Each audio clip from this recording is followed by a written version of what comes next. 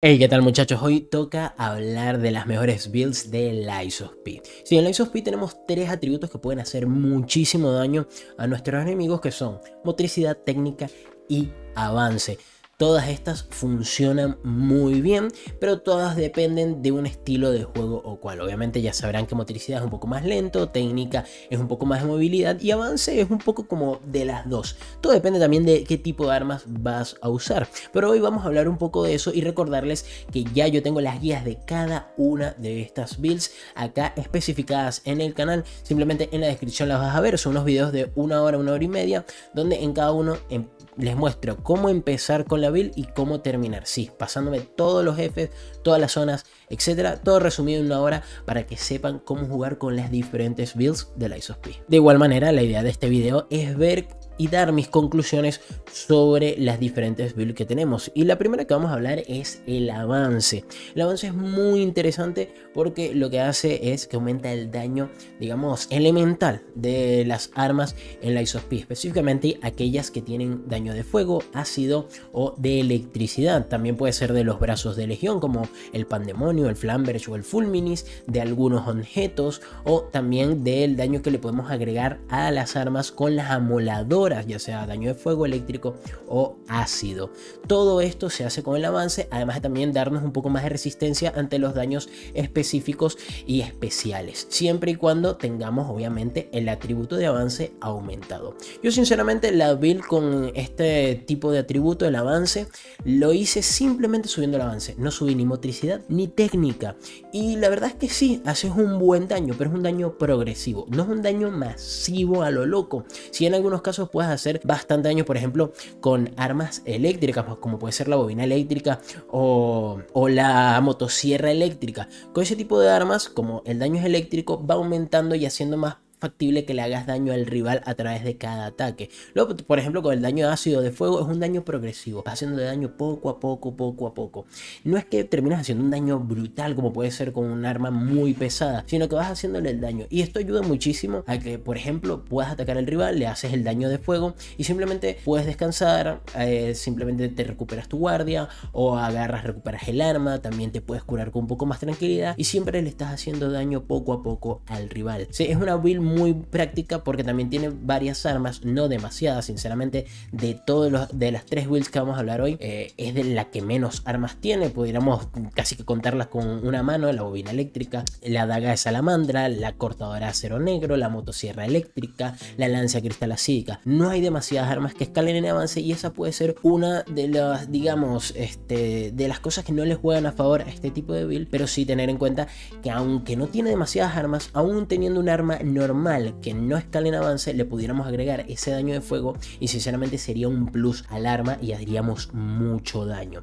Eso sí, yo, en recomendación mía, yo lo que haría es no tener una build de avance, que sí, es muy divertido usarlo y a mí me gustó bastante, pero si queremos hacer o maxificar el daño, eh, lo mejor, sinceramente, para mí sería combinarlo ya sea el avance con una build de técnica o una build de motricidad.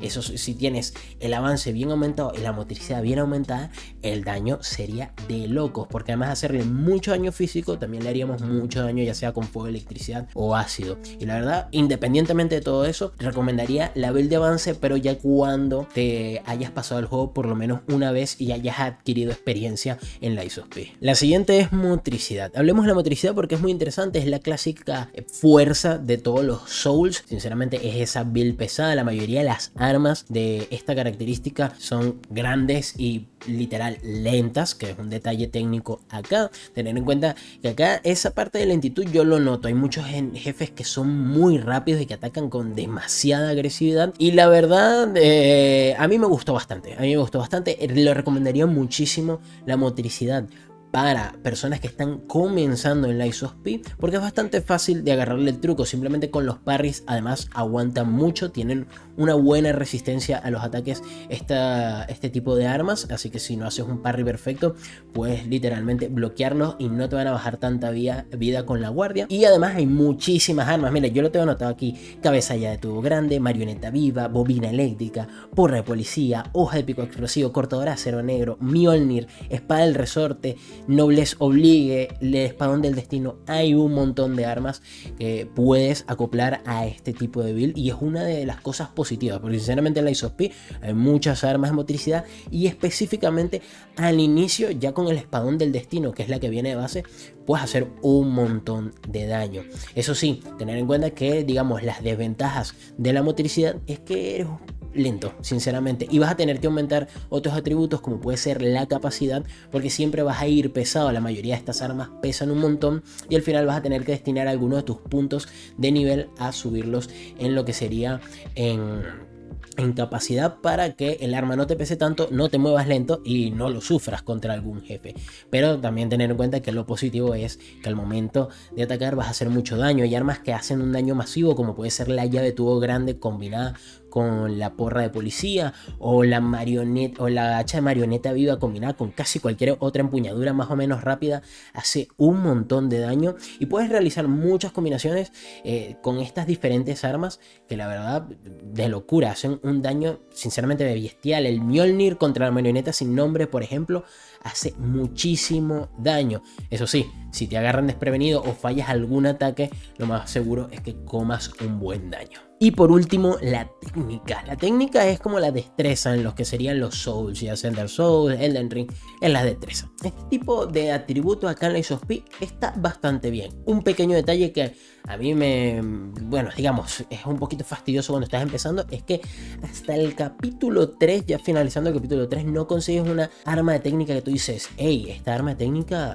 wow, hey, buena, que es la aguja de impulso, que muchos speedrunners la usan, pero es que la verdad, sinceramente, hasta que no consigues esa arma, vas a depender mucho del stock invernal. Sinceramente, capaz pudieras usar la daga salamandra, pero de resto vas a depender demasiado del estoque invernal. Si es verdad que también la técnica da un plus muy grande en cuanto a movilidad, vas a poder atacar y defenderte, o sea, hacer los parries bastante rápido, no vas a tener esa lentitud que tiene la motricidad. Es bastante sencillo atacar también y esquivar, algo que en la ISOSP, la ISOSP se centra un poquito más en, digamos, hacer los parries, pero con la build de técnica no vas a tener la necesidad de llevar tanto peso y además de eso te vas a poder mover muy rápido porque los ataques con la mayoría de armas de técnica son rápidos, además de que son ligeras, vas a atacar y vas a poder tranquilamente esquivar sin ningún problema en segundos. Porque la verdad es que es bastante ligero, por eso es que es una build de técnica, va en la parte de destreza. Eso sí, no tienen un daño masivo. Pero ojito, ojito, ya cuando vas avanzando, y a partir del capítulo 6, capítulo 7, hay armas que te vas a encontrar que son muy buenas. Además de también las de jefe. Hay armas de jefe, por ejemplo, la del tridente del pacto o la etiquete, que te las consigues ya cuando hablas con Alidor en el capítulo 4, que hacen muchísimo daño. O sea, sinceramente, estas dos para empezar son buenísimas. Pero ya cuando avanzas después del capítulo 6 o 7, te consigues una de las que para mí es la mejor, que es la daga del tirano y la lanza de la ciudad. Es muy buena las dos armas, pero combinadas aún mejor. Más bien, vean la guía porque Hace un daño brutal, ya les doy medio un, spoiler. Estas dos armas juntas son buenísimas porque la habilidad de, una, de cada una de ellas es, una de las artes de fábula es literalmente hacer más daño y la otra es generar más daños críticos. Entonces cuando atacas con esto, sinceramente simplemente es apretar el botón de ataque y rompes postura y haces un montón de daño. Creo que ya se nota un poquito que cuál de todas estas tres va siendo mi favorita, pero ahorita vamos a hablar un poquito de las conclusiones.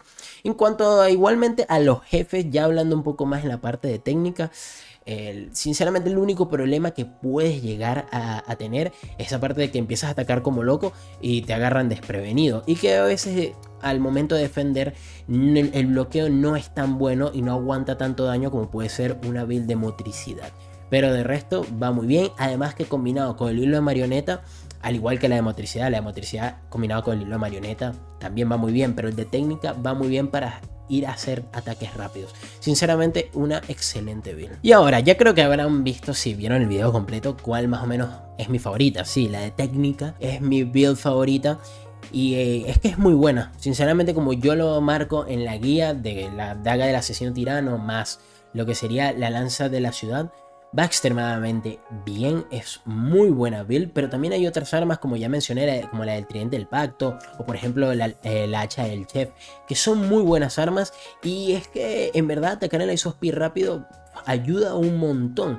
Motricidad no está mal, a mí me gusta mucho, hace mucho daño, pero hay que tener en cuenta que hay muchos jefes que se mueven demasiados y yo pienso que en este juego tener un poco de esa movilidad ayuda bastante. Si es verdad que los parries son, digamos, casi que la base de este juego, pero tener esa movilidad ayuda demasiado. Y el avance yo lo pondría como la tercera y un poquito por debajo de la motricidad. Pero no porque el avance sea malo, el avance más bien es lo más roto que hay en este juego. Pero solo no me parece que sea demasiado roto. Eso sí, si tú por ejemplo combinas el avance con la técnica, sinceramente la Xasia, la marioneta sin nombre van a caer. Uno de los mejores ejemplos es literal en una de mis partidas o mis videos donde les muestro cómo vencer a la marioneta sin nombre. El Mjolnir, que es, una, que es un arma que escala con motricidad, pero que además tiene ese daño de avance eléctrico. Al combinar esos dos, tú combinas una build de motricidad y avance y le haces un montón de daño. Sinceramente, seguramente se los muestro por acá para que vean cómo la marioneta sin nombre, sinceramente, de 4 o 5 golpes ya muere con el Mjolnir. Es una locura lo que puedes hacer. Por eso yo en mi recomendación les diría si puedes hacerte una build de motricidad solo o de técnica sola o de avance solo. Pero mucho mejor va si combinas por ejemplo la motricidad con el avance o la técnica con el avance. Eso sí, mi recomendación técnica sería que se vayan por la build de técnica porque para mí es de las mejores y que combinada con el avance va demasiado rápido y demasiado bien. Sí, vamos muchachos, espero que les haya gustado y todas las guías están acá en la descripción para que puedan ver en complemento. Déjenme en los comentarios cuál build les parece a ustedes mejor. Acá simplemente es un video de conclusiones y las guías completas están acá abajo. Sin más, los espero en el siguiente video.